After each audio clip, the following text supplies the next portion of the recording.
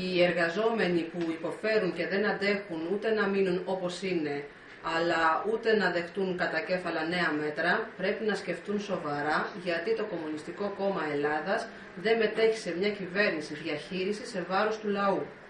Θα ήταν εύκολο για το Κομμουνιστικό Κόμμα Ελλάδας να βρει δικαιολογίες και να προσέλθει στην κυβέρνηση για να υπηρετήσει το λαό μέσα από τη λεγόμενη κυβερνός αριστερά. Έτσι θα είχαμε κάποιες κυβερνητικές θεσούλες και υπουργεία. Δεν παίρνουμε μέρος γιατί ξέρουμε πώς θα εξελιχθούν τα πράγματα σε βάρος του λαού. Παρά το γεγονός ότι ένα σημαντικό μέρος των εργαζόμενων, ακόμα και ψηφοφόροι μας, επιθυμούν τη συμμετοχή μας γιατί μας έχουν εμπιστοσύνη, ξέρουν ότι είμαστε άφοβοι, δεν ταλαντευόμαστε, δεν κάνουμε πίσω.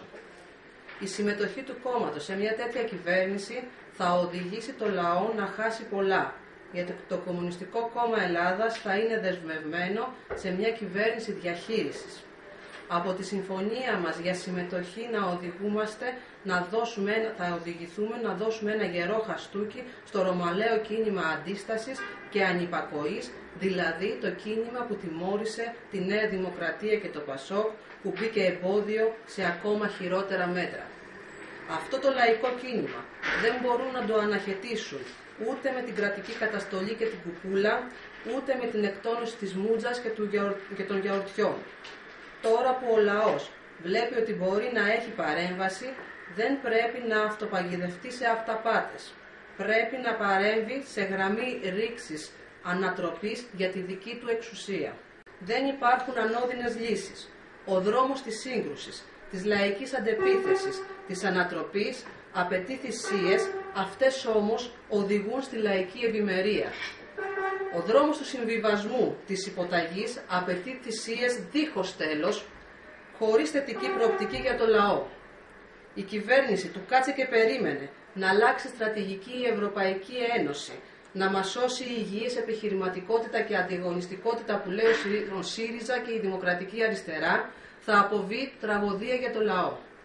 Το Κομμουνιστικό Κόμμα Ελλάδας δεν, δεν παλεύει για καρέκλες.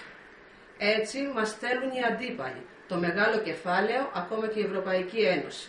Δεν θα τους κάνουμε τη χάρη, γιατί τότε ο λαός πολύ γρήγορα θα μας ζητήσει το λόγο και με το δίκαιο του.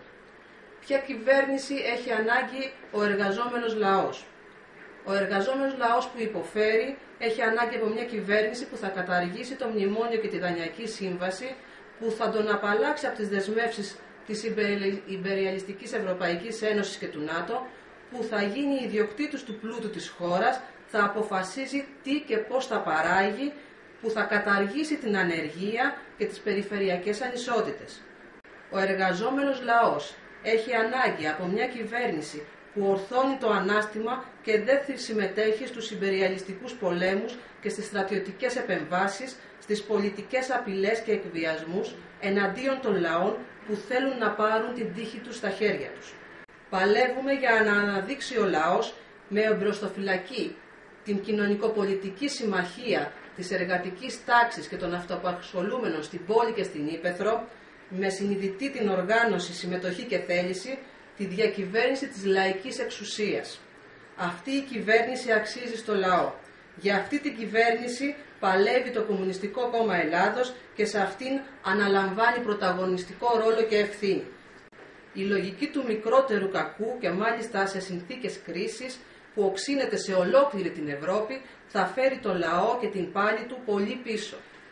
Η Νέα Δημοκρατία και το Πασόκ είναι τελειωμένα κόμματα για τα λαϊκά συμφέροντα. Ό,τι είχαν να δώσουν το έδωσαν σε άλλη φάση που το καπιταλιστικό σύστημα έκανε παραχωρήσεις προκειμένου να ανακόψει το ανερχόμενο λαϊκό κίνημα. Από εδώ και μπρος, η στροφή τους θα είναι όλο και πιο δεξιά. Δεν αλλάζουν είτε έχουν χαμηλά είτε υψηλά ποσοστά, οι ελιγμοί τους δεν έχουν καμία αξία για ένα λαό που υποφέρει. Το αύριο που του προσφέρουν είναι ίδιο και χειρότερο με το σήμερα. Και οι δύο εκδοχές, κεντροδεξιάς ή κεντροαριστεράς, δεξιάς ή αριστερής διαχείρισης, ανεξαρτήτως των διαφορών και ανταγωνισμών τους, θα οδηγήσουν στον ίδιο δρόμο. Στην ανάπτυξη με διαρκής λιτότητα και ανεργία, ευκαιριακή εργασία, με βαλκανικούς και κινέζικους ή ινδικούς μισθούς, με κοινωνικές παροχές εξαθλίωσης. Και το ένα και το άλλο δίλημα αφήνει το λαϊκό αγώνα στο περιθώριο. Κοροϊδεύουν το λαό ότι άλλαξε ο αέρας στην Ευρώπη. Του λένε ότι τώρα γίνεται ούριος για τους λαούς. Αυτό που, που αλλάζει στην Ευρώπη είναι ότι σε συνθήκες που η κρίση βαθαίνει και οι ανταγωνισμοί των κρατών μελών γίνονται πιο οξύς, προβληματίζονται για το πώς θα ξαναμοιράσουν τις ζημιές μεταξύ τους. Προβληματίζονται για ορισμένες αγαλακές που δεν αφορούν τη ζωή των λαών, αλλά τα συμφέροντα της μιας ή της άλλης αστικής τάξης. Κοροϊδεύουν τον λαό ότι θα διαπραγματευτούν στις Βρυξέλλες, ότι δεν θα μειώσουν τους μισθούς και τις συντάξεις, ότι θα δώσουν δουλειά με κρατικές επενδύσεις και άλλες χάρτινες υποσχέσεις και χωρίς αντίκρισμα. Τραβάνε το λαό προς τα πίσω, υποσχόμενοι ότι θα γίνουν το καλό Πασόκ σε μια περίοδο που είναι αδύνατο να γυρίσουμε στη δεκαετία του 70 και του 80. Αποδεικνύουν ότι το όνειρό τους είναι να γίνουν η νέα σοσιαλδημοκρατία που σκότωσε το όνειρο εκατομμυρίων εργαζόμενων στην Ευρώπη και όχι μόνο. Για να βάλουν το λαό στη γωνία φοβισμένο και εύπιστο ότι μπορεί να γίνει ένα θαύμα, ορεύονται να βάλουν στη γωνία το Κομμουνιστικό Κόμμα Ελλάδας, καθώς ξέρουν ότι η ανάπτυξη και η αποτελεσματικότητα του κινήματος έχει πολύ στενή σχέση με το ρόλο και τη δύναμη του Κομμουνιστικού Κόμματος Ελλάδας στο λαό και στη Βουλή. Θέλουν το Κομμουνιστικό Κόμμα Ελλάδος στην κυβέρνηση για να μην έχουν δυναμική αντιπολίτευση, να μην υπάρχει ισχυρό αντίβαρο στην κοινωνία. Τολμούν να λένε Ας δούμε ποια θα είναι η εκλογική σας δύναμη στη δεύτερη αναμέτρηση και τότε θα δούμε τι θα κάνετε. Δηλαδή, θα επιβάλλουμε με τα συνθήματά μας τη μείωσή σας, με την προοπτική της κυβερνός σας αριστερά θα σας μειώσουμε, θα σας συντρίψουμε και οι τιμένοι θα έρθετε στην αυλή μας. Αυτοί θα διαπρισευθούν τραγικά. Η εκβιαστική τους αλαζονία που απευθύνεται στη λαϊκή παραπλάνηση δεν πρόκειται να μας βγάλει από την τροχιά μας, γιατί αυτό θα σήμαινε ότι εγκαταλείπουμε το μετερίζει του λαού που δεν πρόκειται να το εγκαταλείψουμε η Νομαρχιακή Επιτροπή Αρκαδίας του Κομμουνιστικού Κόμματος Ελλάδας καλεί τους εργαζόμενους, τους άνεργους, τους συνταξιούχους, τους αγρότες, τους αυτοαπασχολούμενους, τις γυναίκες και την νεολαία να πάρουν μαζικά μέρος στην προεκλογική συγκέντρωση του Κομμουνιστικού Κόμματος Ελλάδας την 5η 24 Μάη 2012 στις 8 η ώρα το βράδυ στην κεντρική πλατεία στην Τρίπολη με ομιλητή τον Νίκο Γόντικα, μέλος του Γραφείου Περιοχής Πελοποννήσου του Κομμουνιστικού Κόμματος Ελλάδας. Τώρα ο λαός να σηκώσει ανάστημα συνειδητοποιώντας ότι έχει συμφέρον να αλλάξει την ψήφο του, να χαλάσει τους σχεδιασμούς ανακαίνησης του αστικού πολιτικού συστήματος, τώρα ακόμα πιο αποσπασιστικά ισχυρό κουκουέ.